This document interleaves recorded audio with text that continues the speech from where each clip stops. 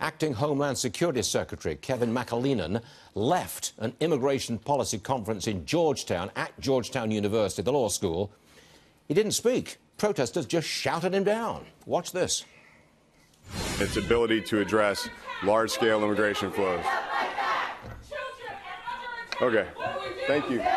He tried three times, wouldn't let him speak, and the Secretary joins us now. Mr. Secretary, um, we were appalled on this program because it looks to us like administration officials cannot speak in public. They cannot debate in public, and we're appalled at it. What say you? Well, thanks, Stuart, and thanks for your comments on, on that issue. You know, it's unfortunate. We, we had a lot to share with that audience. Yeah. Uh, it's kind of ironic. They're a group of immigration attorneys, uh, advocates, uh, and I was going to challenge them on how our system is failing uh, and what aspects aren't working, uh, but also provide an update on the efforts of, of the Trump administration uh, to address unlawful migration flows and how we're succeeding. so it's unfortunate they didn't want to have that dialogue. Mr. Secretary, they don't have the intellect or the maturity to match up to you, and that's a fact. Let's get to the substantive part of your work and your job. There has been some criticism uh, that Mexico is doing all the heavy lifting at the border, that in fact they are indirectly paying for the wall. What say you on that one?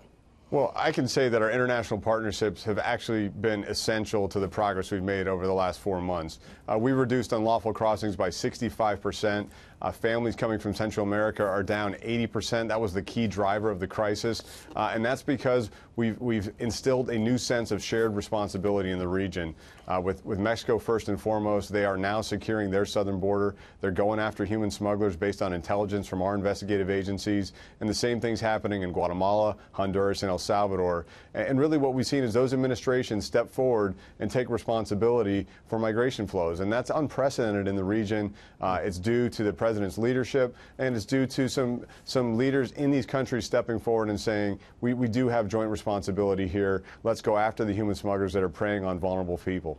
Let's get right at it, sir. It's a very active business day, um, news day, so we're going to keep this short. But give us a progress report on A, building the wall, and B, keeping the number of people arrested or apprehended at the border down.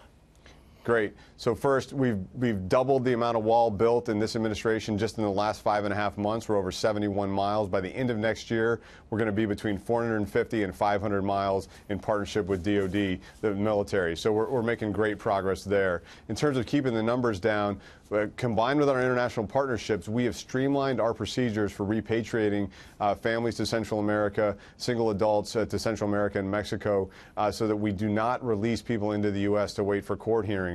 Uh, that's been a huge impact, and we're going to see uh, continued ability to control that flow from these initiatives. Mr. Secretary, thank you very much for being on the program today. It's very much appreciated. Thank you, sir. Thank you, Stuart. Good to be here. Yes, sir. See you soon. Thank you.